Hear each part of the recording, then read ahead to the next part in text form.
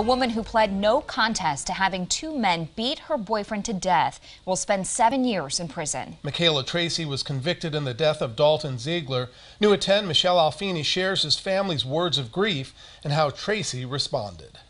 Just over a year after his death, I will never get to hug him again. Dalton Ziegler's family still struggles to explain what it meant to lose the 24 year old. I saw his ability to find the good and even the worst kind of people and I thought that that was what made him so remarkable. Friday marked the final sentencing for the three suspects in his death, though his sister Samantha Ziegler says this may have been the hardest to endure. They didn't even know him.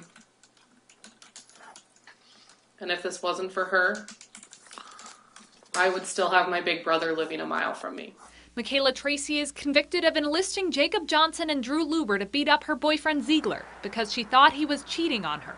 He died from the injuries. I do not go a day, let alone a few hours, without thinking of him.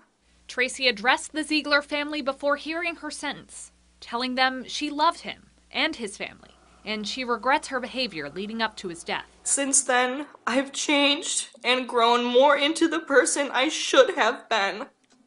That you should have known, and that I should have been for him.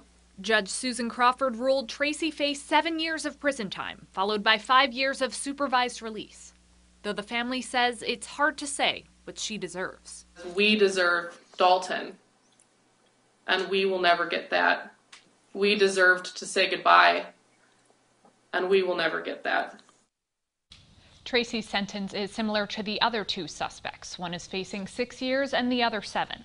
The judge says the seemingly lenient sentences are due to their charges. It's felony murder, as the court could not prove they intended Ziegler to die when they assaulted him.